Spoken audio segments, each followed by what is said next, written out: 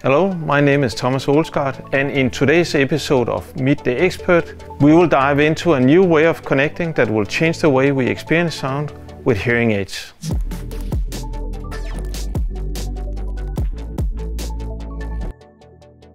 Most people don't notice how important connectivity is. It's just something we have. But think it over. Your smartphone, what if you don't have it? You can't call your friends, you can't call and say you are late, you can't go into your social medias. What about your Wi-Fi? That, that is also connectivity. So it's really important.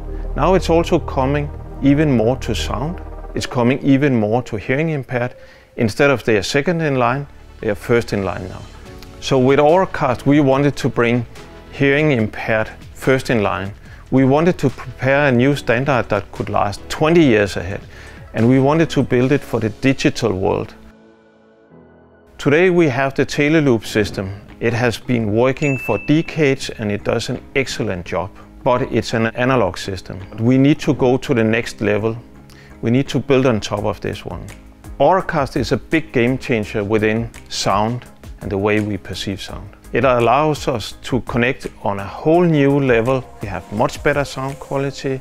We have connectivity to many devices and not just one device. On top of this, stereo, and we also want to provide privacy. As a hearing aid user, you can tap into so many sound sources. So if you're in the airport, you're going to your gate, you just look it up on your phone, gate 21, you listen in on that. It might be so that they are even offering announcement in several languages and you pick the one that works for you. When it comes to a live concert, for instance, there Auracast will be one of the big features. And when you blend Auracast into what you already hear, then you get a perfect sound. Auracast is probably the biggest change ever in Bluetooth audio, not just for hearing impaired, but also for normal hearing. And that means headsets, earbuds, any device with Bluetooth Auracast can get the sound stream. And within a year, two or three, you would have it in all audio devices brought to the market.